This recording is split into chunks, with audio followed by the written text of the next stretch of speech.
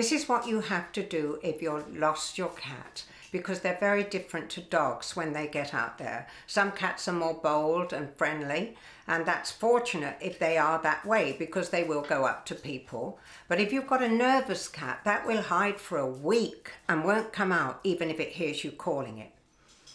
Often cats don't go too far. So if you've got an indoor cat and there's a difference between a bold cat that used, is used to going in and out and it maybe doesn't come back, that cat. But the indoor cat, some of them are nervous. So you must make allowances for that because people think if they're going to call their cat, it'll come out to them. It doesn't work that way.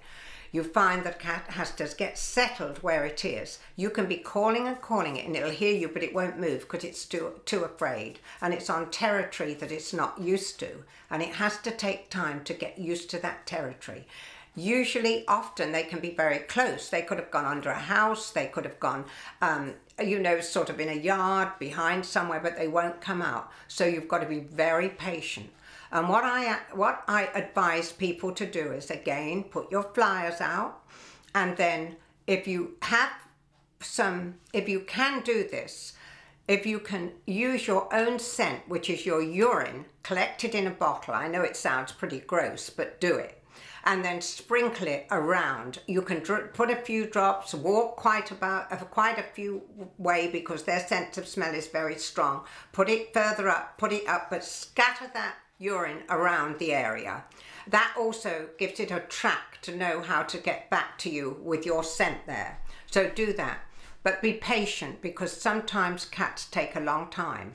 You know, put flyers around your neighbourhood, even in, on your neighbour's doorstep. They may have seen it, it may be hiding in their yard. But that's what you can do with cats. Cats are very different when they're lost to when dogs are, so remember that.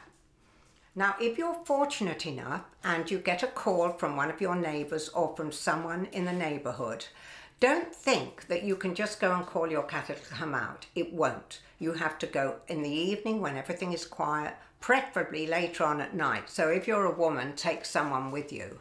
But go and sit, just sit and call. And you may have to sit for a couple of hours, but keep calling and calling. And nighttime, cats in the darkness feel safer. And if they hear you calling and you're prepared to spend your time sitting somewhere where he's been sighted and also don't worry too much because cats are pretty cute and I find that a lot of people do feed stray cats. So you may get a call from a neighbour who thinks they've seen your cat. Don't think that he's just going to come to you. He won't. You've just got to sit around the area whenever she puts the food out and just sit there and wait. Patience is what you need with a cat.